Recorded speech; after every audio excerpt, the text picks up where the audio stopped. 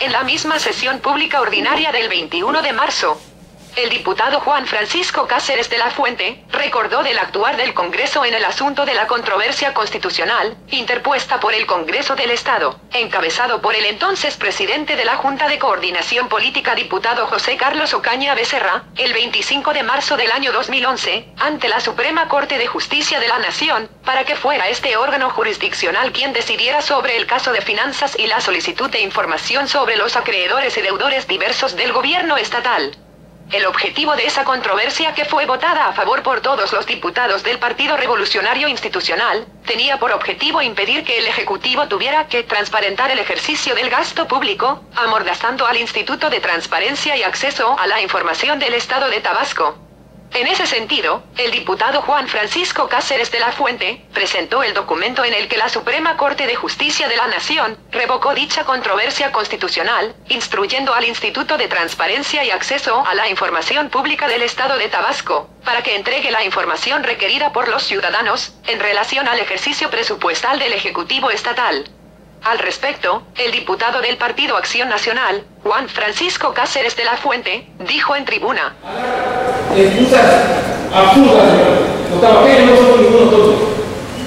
Y si ustedes están dispuestos, diputados del PRI, a quedarse callados, yo no. Yo no y más en este tema. Donde no traga y sale a reducir. Que el señor gobernador, para finales de este año, seguramente va a mandar aquí un decreto pidiendo los miles de millones que yo calculo que deben ser 100 mil para, para tapar el hueco que se creó con el desorden financiero y el robadero. Y les hago este llamado respetuosamente, compañeros de CIR, compañeros de todas las bancadas. Así como hoy, con esta controversia, se comprueba que se hizo un cochinero que se tapó con esta anuncia legal, también vendrá la elección del próximo presidente del instituto. Y espero que ese día nadie se enferme y todos estemos aquí y elijamos de manera responsable al que va a llevar el proceso electoral. Ya Alfonso no pudo o no quiso. Es su decisión. Nuestra decisión es elegir al presidente que lleve con responsabilidad el próximo proceso. En cuanto. Muchas gracias.